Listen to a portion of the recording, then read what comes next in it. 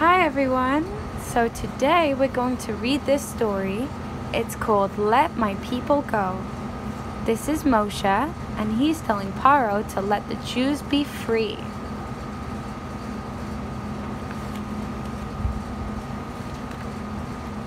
A burning bush, and it began.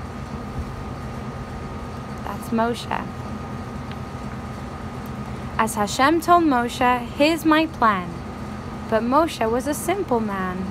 He said, I just don't think I can. Poor Moshe. Hashem would not hear the answer no, and said, With Aaron you will go, to lead my people from Paro. Tell him that Hashem said no. So Moshe spoke to mean Paro.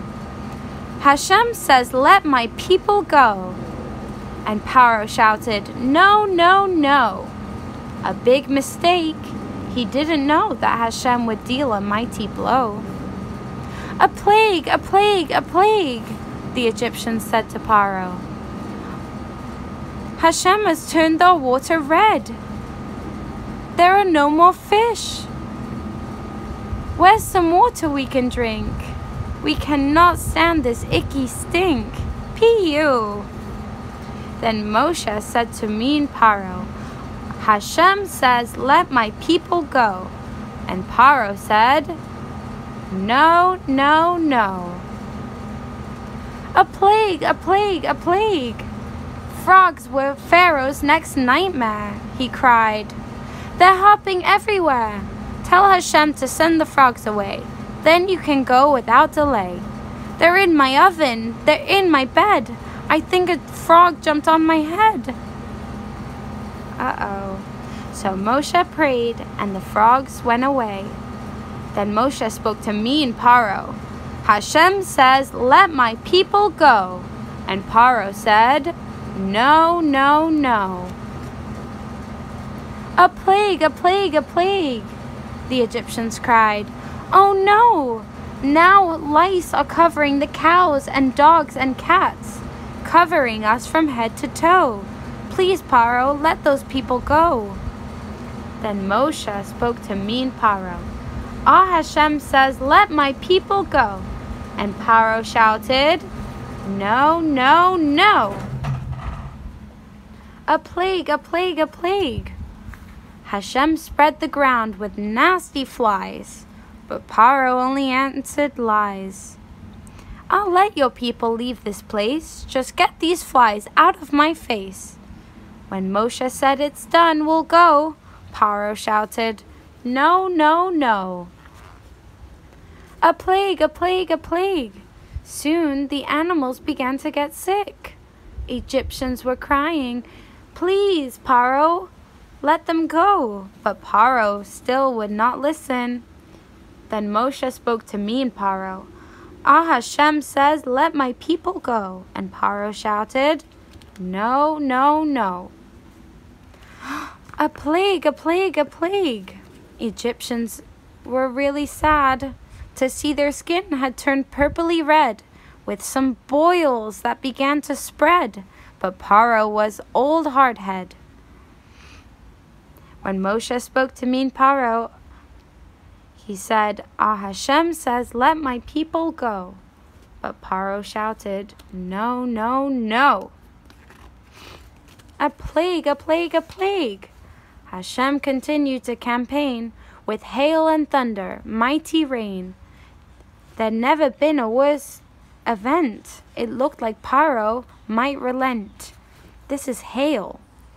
Hail is little balls of ice. It's like snow, but it's bigger and it's harder and it's falling from the sky. Just like rain, but it hurts if it lands on you.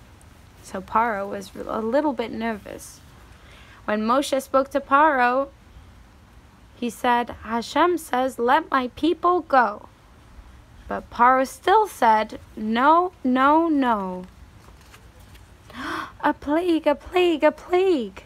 Now Hashem sent down a new command, and Moshe, with his outstretched hand, sent hungry locusts through the land. Locusts are these kinds of bugs. Maybe you've seen them before in real life or a picture, and they eat all the food. They're eating all the apples and all the leaves. And Paro said, This I cannot stand. Leave Egypt now, as you have planned. But when the people packed to go, Paro said, No, no, no. A plague, a plague, a plague. Then Egypt had three days of night when the Israelites enjoyed Hashem's light. It was so dark, even in the daytime, but the Jews still saw light. It was only for the Egyptians. So Pharaoh tried to. So Pharaoh, tired of the fight, said, Wives and children all can go. You cannot take your livestock, though. You can't take your cows or your sheep. Only the mommies and the babies can go. He really didn't mean it, so he soon was shouting, no, no, no. A plague, a plague, a plague. Hashem, through Moshe, said, Beware, this plague is, is not very good. All the firstborn boys are going to get very sick. And, and Paro was a firstborn. Some of our friends in our class are firstborns. Um, Benjamin is a firstborn boy. Uh, who else? Mm, Brody is a firstborn boy. Mm, Xander is a firstborn boy. Um, yeah, and and Eli, you have an older sister, so you're second in your family.